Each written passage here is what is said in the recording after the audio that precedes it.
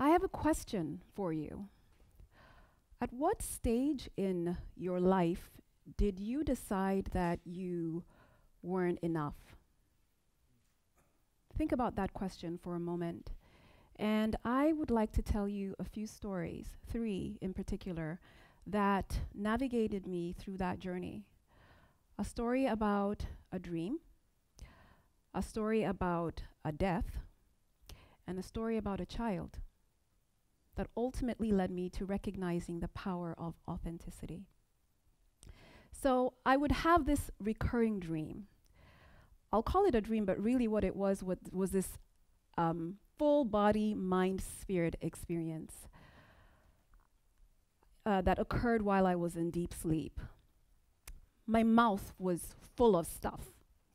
And this would happen at the most inopportune moments when a question had been asked that I needed to respond to, when a decision had to be made and verbalized that was life or death, when someone that I admired and looked up to, like Michelle Obama and Oprah Winfrey, and yes, I dream a lot about those two fierce females, asked me a question and I had the answer, the perfect answer for them, the perfect response.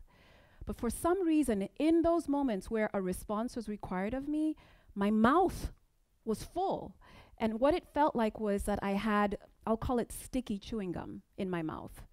And I would try to pull out this chewing gum from my mouth, and the more I tried to pull it out, the more it filled my mouth. I want you to picture a clown with one of those tissue boxes, and she's tugging at the tissues, and the more she tugs, the longer that tissue line of colored tissues becomes.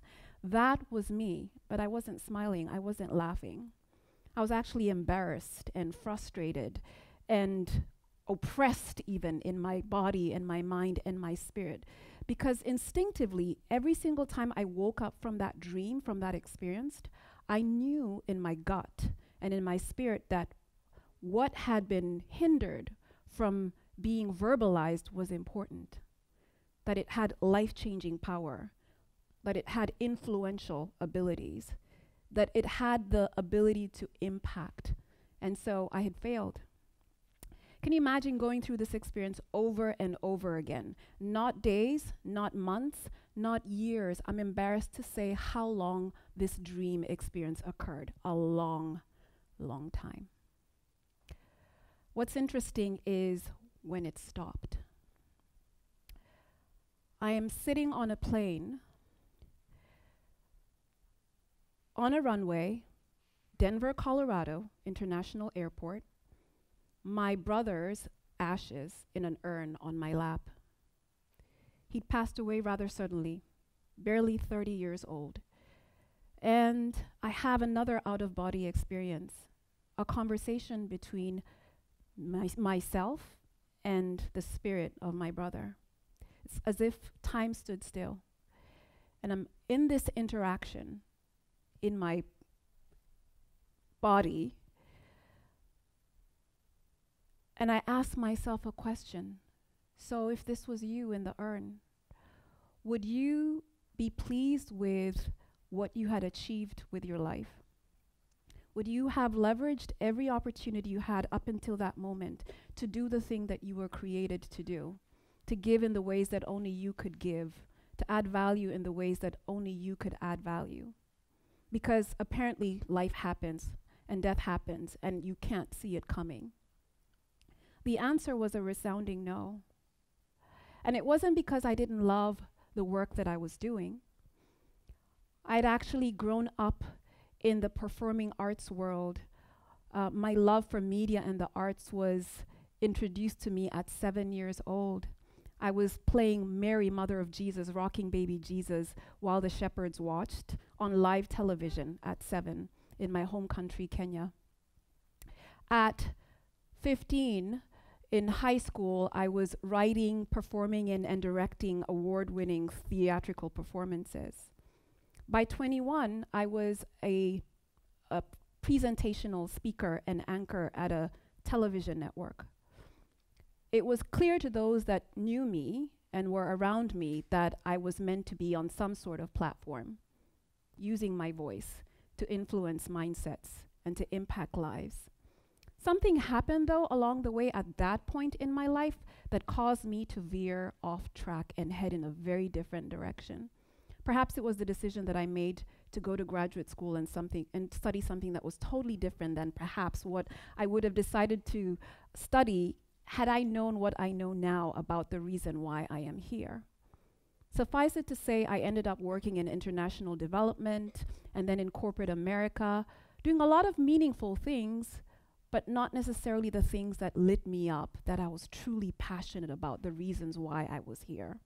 And so, in that moment, as I'm having this interaction, this conversation with my brother who has passed away and myself, I realize that perhaps fear had something to do with it. Fear of being misunderstood, fear of being judged, fear of not necessarily fulfilling my utmost potential that had driven some of the decisions that I had made.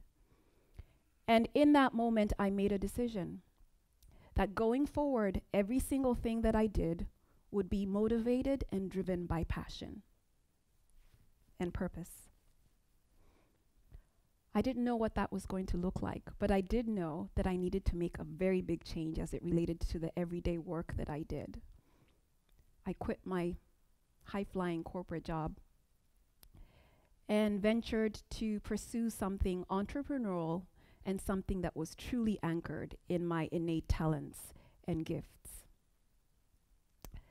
And then I became a mom. And it's quite interesting how children will quite literally shift your view of the world and of yourself and what truly matters. My daughter was barely four years old when she went through the identity crisis.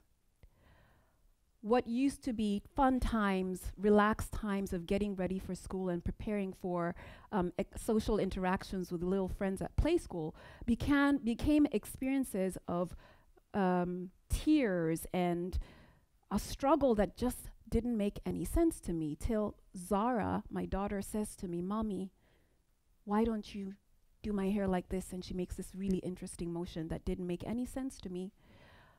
Till we navigated discussion, and ultimately I realized that my child was struggling with her self image. She didn't like her nappy hair, her kinky, curly locks. They represented not beautiful in her mind's eye. This is a four, barely four year old girl that was questioning her beauty and her self worth based on how she felt she compared to her little friends that were different from her. I ultimately ended up having conversations with other women who, like me, had um, daughters about Zara's age and discovered that many of them had had similar conversations. If it wasn't about the hair, it was about the size of her hips. If it wasn't that, it was about just different aspects of a girl's physicality that influenced how she felt about the place that she had in, in the world and how she compared to her friends and those peers and influencers in her life. I ultimately took to social media because I wanted to understand if this was an issue that was bigger than just Zara and I and our neighbors and my little network of friends. And I was blown away by what I heard from more than 400, almost 400 women situated all over the world, different backgrounds, different walks of life, different socializations. The one similarity being that they had a girl child in their life that was aged between 3 and 12 the stories that they shared were heart wrenching. Things like, I can't remember the last time she ate a full meal. She's been starving herself. I worry that she does not dream big enough for herself. She's stuck on a specific perspective on of who she is and what is possible for her. I'm really concerned that she'll try and hurt herself again because she doesn't fit in. Can you imagine that? No mother should have to suffer the loss of a child to suicide as a result of them not fitting in. And so it became quite apparent to me that this was a much bigger issue. And as I spoke to the women themselves, grown women, mature, experienced, educated women, about what kept them up at night when they thought about themselves, I realized some of the issues I was struggling with as an individual, they were struggling with as well. We are so hard on ourselves.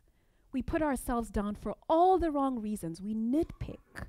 We um, there's always something to change there's something about us that is imperfect that we dwell upon. And the issue became that we um, relate our value and our self-worth to elements that have nothing to do with what is beautiful and powerful about us. And so that is what put me on the path to do something for girls like my daughter for women like myself and ourselves all over the world. And I chose to tackle this issue from the perspective of those initial interactions that girls deal with. Play, creating immersive, interactive, truly inclusive play experiences that are anchored in content and ideas and information that really equips girls all over the world to recognize what their value is, to recognize that they are fully equipped, innately equipped to have impact on the world. Helping girls and women realize that those qualities and those characteristics and those attributes about themselves that perhaps set them apart, make them feel other, make them feel different, that that is where the opportunity for um, unique perspective, for joy, for fulfillment, for true impact on the world, meaningful impact on the world lies. That that difference is in fact a superpower. And that being honor honoring yourself, surrendering to the person that you really are, that's where the power begins. That's where the freedom for light and laughter and joy and peace and fulfillment, that's where it arrives. That that's where it begins. And so this is the challenge to all of us today. The vision and the mission is so much bigger than who I am. The question is at what point in your life did you decide that you were not enough just the way you are? I challenge you to reconsider that erroneous mindset.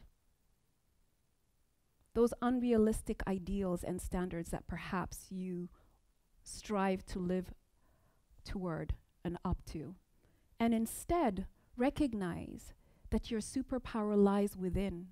It's the compassion, it's the tenacity, it's the resilience, it's the drive, it's the selflessness, it's the brilliance. Those elements are innately in you. Those are your superpower. So be bold, be brilliant, and be you. Thank you.